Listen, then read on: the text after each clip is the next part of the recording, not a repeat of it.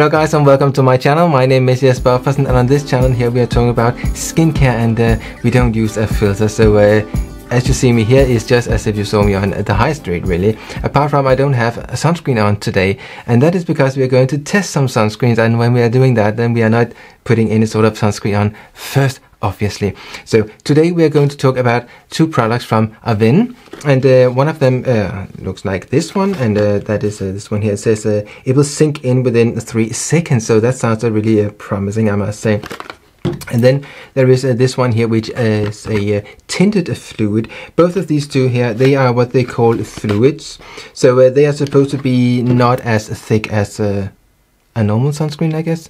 So the thing is that uh, they have uh, on their webpage there are I would say three uh, versions uh, of uh, this one here in the sense that there is this one here which is tinted. And then there is another one which is you could think is untinted and I took the one that was untinted but in the version that is with no fragrance.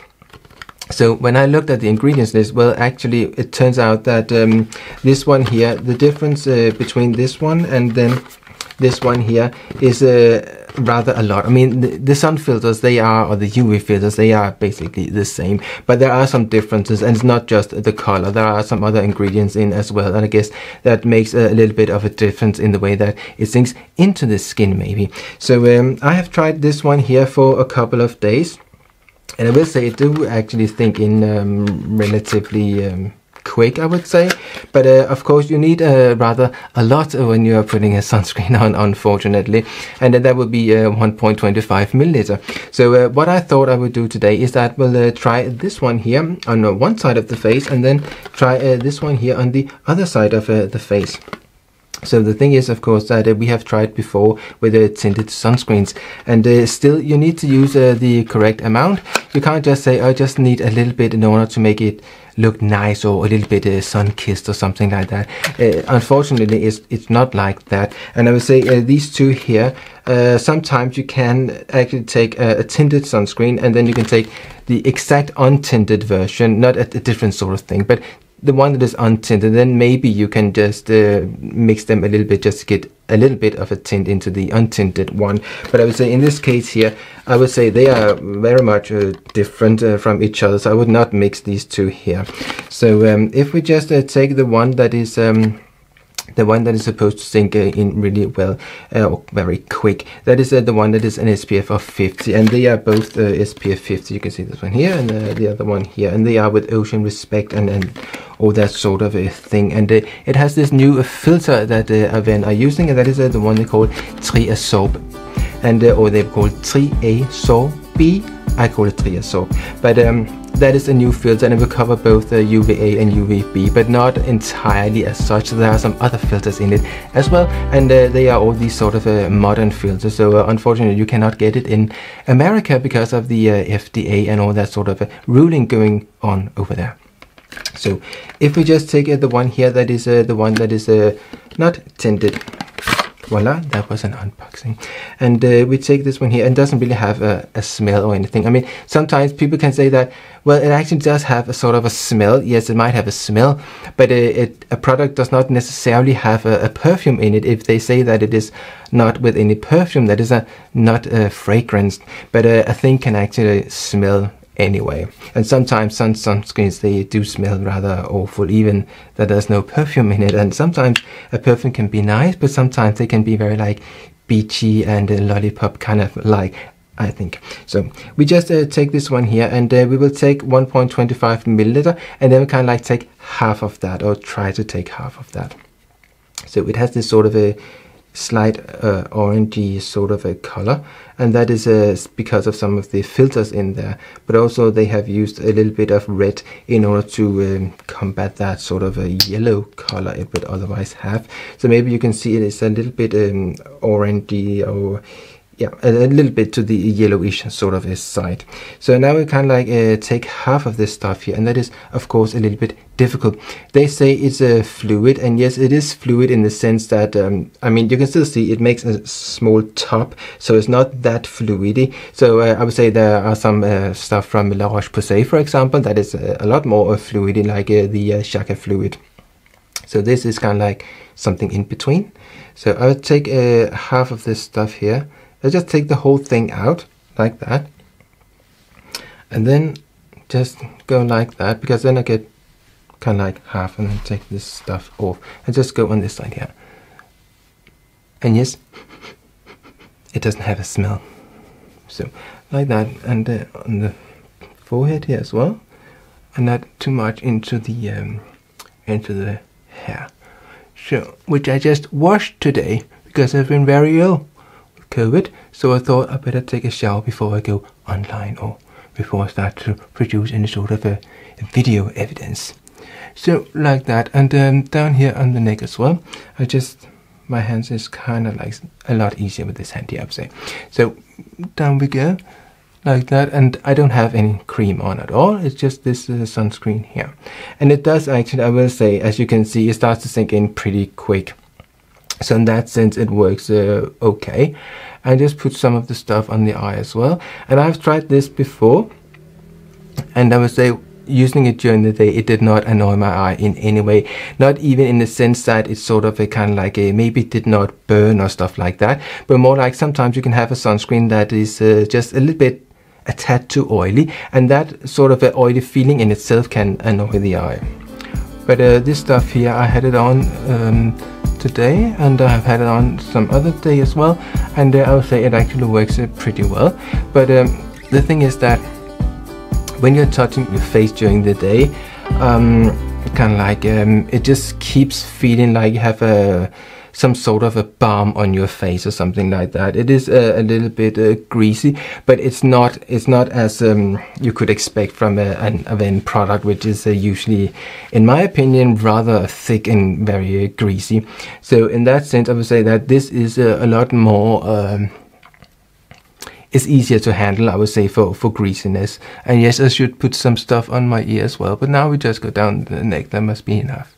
So in this matter here, I would say it does actually work uh, okay and did not annoy my eye, but it still has this sort of um, like you're putting a balm or something, an ointment on your skin. It is a, a little bit to the uh, thick side, I would say but um, definitely it does not have a smell and uh, it did not annoy my eye. But another thing that is that because of the filters that are in uh, this product here, it is kind of like a semi um, uh, solid or in the sense that it's not just a, a, a chemical sunscreen, it is um, more like a, a, physical one as well, kind of like a mix. So uh, that means that uh, when you are blinking with your eye during the day, then you will get a, a line up here that is kind of like a yellowish, just like uh, the product itself. And that is because it is a sort of um, one of these uh, filters here. They are a, uh, a mix between a, chemical and a physical sort of um, sunscreen and that what does it even now i would say that it has sunk in really quick and uh, just touching my skin now it feels like there is some sort of a thickness to it yes definitely there is and it is uh, just a, a thing when you are dealing with the Avène, uh, you should just have uh, the expectation that uh, it will be a sort of um, a greasy sort of a thing, really. But it's not as bad as it uh, could be. So if we try uh, the other one here, which is the uh, tinted one, try that on the other side. Maybe I don't think you can see that, but I can see if I go close up, after having worn it for a while, I can see that uh, everywhere there is a sort of a, a, line and stuff like that. Then uh, there will be um, this sort of a yellowish thing just as uh, on my eyelid. So we take this one here, and uh, that is uh, the uh, tinted one. So a fluid tinted or tinted fluid as they call it, kind of like it looks like this. And I would say when I open this, I can just show you that uh, the other one that we spoke about uh, in another video, I have that one here. That is the, the here. I just have a quick look at that because I think this one is a little bit darker in the color than I remember this one here is. But um, I remembered wrong because they are kind of like very uh, dark, uh, both of them. So uh, we just have a quick look, kind of like they look um, kind of like the same, really. So in that sense, it's kind of like just the same. So this one here just promised to be a little bit more liquidy. And we could just have a little look. How liquidy is it compared to the other one? Well, if I just take the other one on my hand like this, I would say this is um, pretty liquidy. if the other one is liquidy, the one we just tried. And then take the other one we're going to try today. Is that a little bit more liquidy? Really, I would be very hard pressed to say I could say any sort of a difference here. So uh, yeah, we just take this uh, stuff off again, and then we go correctly in, and we take a clean spoon here, and then we try uh, this one here, which is the uh, tinted fluid. So just make sure this is the correct one. So we just take like this. And again, as you can see, this is not very, I mean, yes, yes, it does uh, kind of like uh, settle, but um, it's not as liquidy as I thought it would be, or fluid. So we just take half of the stuff here, the, the whole thing, and then we can like, as before, divide it, sort of like that. You can see it's sort of empty, like that. That's just took half of the stuff off.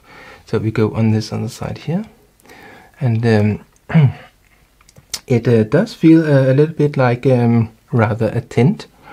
So um, that is basically just exactly what I expected. This is uh, something that is definitely um, not easy to work with color wise. I mean, you definitely you, you need to have this color here, and I think that if you like this stuff here, either I think that you are using too little, or well, I'm not quite sure. You must ex have exactly this sort of color, but still, even that you have that, then um, it just uh, will look like you are wearing uh, way too much foundation. So, and this one here is actually perfumed, but if you are allergic to perfumes, uh, then of course it will be a problem regardless of you can smell it or not. But uh, I would say, yes, there is a sort of perfume in it, okay, but um, it is not. It's not much smell-wise. So we go on like this, and we'll just put some stuff on the eyelid as well. So like that. So this one is a little bit uh, different than the other one because the ingredients, there are some other ingredients in it as well. So it's not just, as I said, a, a colored one compared to an non-colored one. And uh, it does uh, actually feel, um, let me just clean my, this, this other hand here. Um, I would say this here does feel like, um, when I put this stuff on here, it definitely, it sunk in a whole lot better. Uh, and this one here keeps uh, being um, greasy where at this point here the other one would already have been sinking in so kind of like uh, when you're using this one on this side here then um, it kind of like uh, you need to work pretty quick really to make sure that you distribute it sort of evenly. And this one here um, I would just say this is uh, sort of uh, really close to the usual stuff from um, Avène it is uh, a greasy affair? Um, yeah, I would say this is is not something I'm gonna buy again.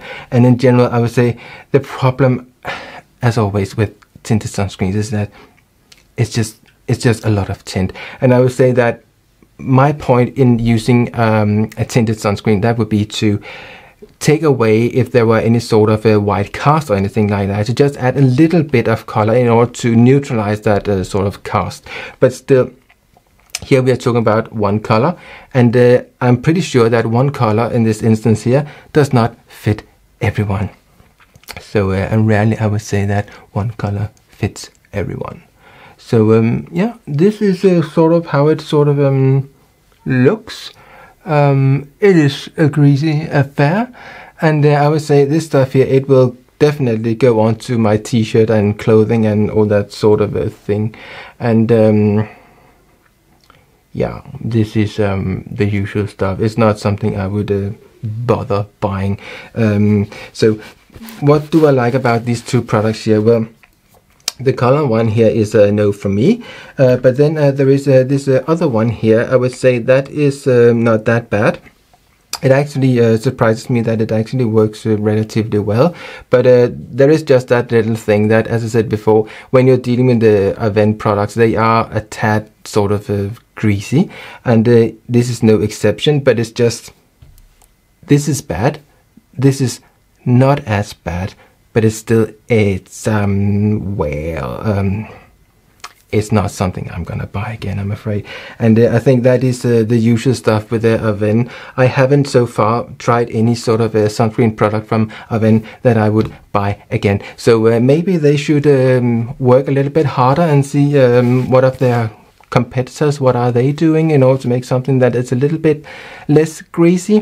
Um, something like that because i think that uh, when you have a product that is so very greasy i think that people tend to use uh, not that much. And i think that is really a, a shame because then you don't get the protection that uh, you expect.